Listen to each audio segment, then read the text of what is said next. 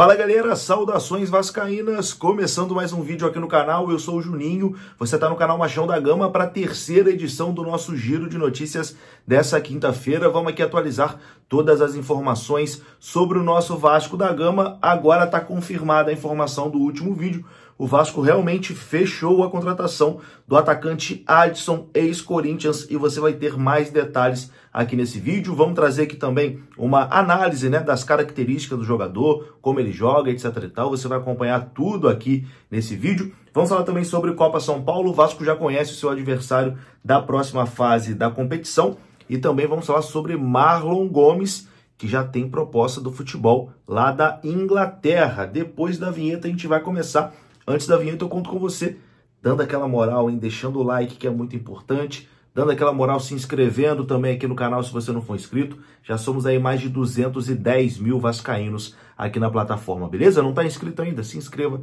a sua inscrição é muito importante. Tamo junto? Deixou o like, se inscreveu? Então a vinheta rodou.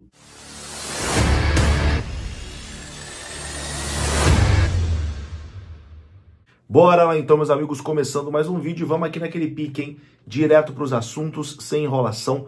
Bora falar de Vasco da Gama e vamos começar falando de Copinha, né? O Vasco venceu hoje a equipe do Flamengo de Guarulhos por 1 a 0, avançou de fase e já conhece o seu adversário na próxima fase. O Vasco vai enfrentar o Vitória da Bahia. Teremos aí um confronto de primeira divisão, né? O Vitória que subiu na última temporada para a Série A do Campeonato Brasileiro. O Vasco vai enfrentar o Vitória pela segunda fase da Copa São Paulo. O jogo será no próximo sábado, às 3 horas da tarde, na cidade de Guarulhos. A transmissão será do Sport TV, lá no estádio Tranquilão. É, a transmissão do Sport TV, 3 da tarde no sábado, Vasco e a equipe do Vitória da Bahia. Agora é mata-mata, né? Empatou é pênalti, quem ganhar passa de fase, quem perder tá fora. Enfim, atualizamos aqui a copinha. Vamos agora pro assunto do momento, né? Que é o atacante, o meia atacante Adson, né? Ex-Corinthians, que tá lá no futebol francês, está no Nantes da França e que será jogador do Vasco. No último vídeo a gente trouxe aqui a informação que o Vasco tinha feito a proposta né, pelo jogador, que a coisa estava avançando, que estava próxima de acontecer, mas agora já está confirmado. O Vene Casagrande trouxe em primeira mão essa informação que já está confirmado. O Vasco acertou a contratação do atacante Adson.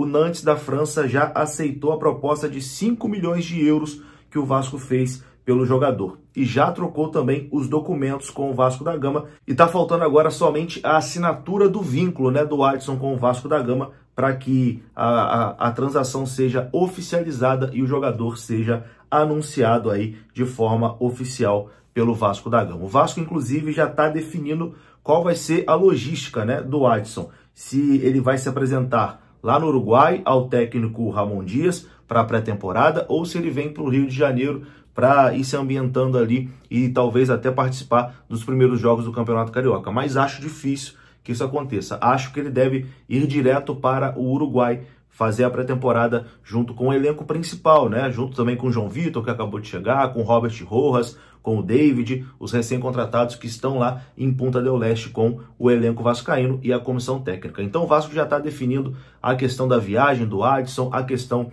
é, do anúncio oficial também do jogador. É uma contratação que já está sacramentada, cerca de 5 milhões de euros quase ali 30 milhões de reais, muito dinheiro, tá dando o que falar essa contratação, mas o negócio já está fechado.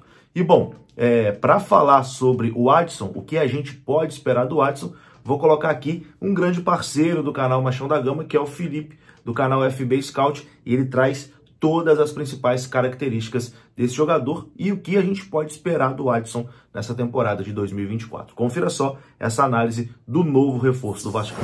Ano passado, o primeiro semestre pelo Corinthians foi um atacante pelo lado direito do campo, ele é canhoto, para quem não sabe, a maioria do, do período pelo Corinthians foi jogando assim, tá bom, pessoal? Como um ponta pelo lado direito, ele é um jogador que faz bem a recomposição, é um cara que recupera bastante, a posse de bola. Ele tem um índice de acerto de drible bem interessante. É um cara que tem velocidade, tem capacidade de drible. Então jogava ali com o pé trocado, trazendo para dentro para finalizar ou criar as chances de gol. Lá em 2021, quando ele começou pelo Corinthians, chegou a jogar um pouco também pelo lado esquerdo do ataque, fazendo um pouco mais de linha de fundo. Não deve ser a tendência, tá bom, pessoal? Ele passou a jogar mais pela direita.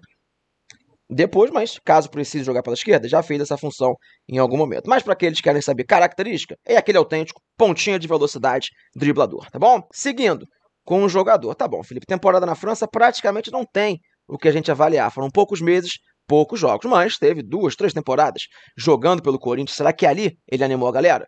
Vem pra tela para a gente poder conferir. Pequeno histórico na carreira, as últimas quatro temporadas de Adson como profissional, que são todas as suas temporadas jogando na equipe de cima. Vamos lá. 2021 pelo Corinthians, 24 jogos, 7 como titular, 3 gols marcados, 3 assistências, até um desempenho bem legal para um menino que à época tinha apenas 19 anos. 2022, aqui do início ao fim do ano no Corinthians, 49 jogos, 27 como titular, 5 gols, 2 assistências. 2023, aquele primeiro semestre, né, antes de se transferir para a França, 41 jogos, 30 como titular, 5 gols e 3 assistências. Então era um menino que tinha uma minutagem até razoável no time do Corinthians, mas nunca chegou a ser um protagonista, aquele grande jogador no futebol brasileiro, tá bom? Voltando para mim, pessoal, reta final do nosso vídeo, o que, que eu acho dessa contratação? Acho que é uma contratação razoável para o Vasco, eu tenho certeza que o pessoal vai ficar frustrado, porque queria um jogador de mais nome, realmente colocou-se muita expectativa nessa janela do Vasco da Gama, mas é um jogador bem com aquela cara de SAF, né, pessoal? Um jogador jovem, um atacante, que está embaixo na Europa, você vai trazer baratinho, vai ter uma possibilidade ou de revenda ou de rendimento técnico por várias temporadas dentro da sua equipe, assim, aquele perfilzão de SAF. Não acho que é um jogador ruim, acho que é um cara jovem, que tem agregado numa posição que o Vasco realmente precisa, mas fica aquele quesinho de frustração, acho que todo mundo esperava um jogador um pouco melhor. não acho que é um desastre. Como eu falei, é um jogador interessante, uma composição de elenco no Vasco da Gama, uma boa aposta que pode começar talvez como reserva, acabar ganhando seus minutos e acabar ganhando até mais protagonismo no elenco do Vasco. Mas nesse momento, um jogador razoável, mas um jogador razoável para compor o elenco do Vasco em 2024, tá bom? E bom, você pode conferir a análise completa não só desse jogador, mas de outros reforços do Vasco, né? Já tem lá do Rojas, é, do João Vitor, do David. Você pode conferir lá no canal FB Scout. O link está aqui na descrição desse vídeo. Vai lá, se inscreva, dá uma moral, comenta que veio aqui do canal Machão da Gama. Dá uma moral lá pro trabalho do Felipe, que é realmente muito, muito bom. Bom, agora a gente fala aqui sobre Marlon Gomes. Informação do Globoesporte.com.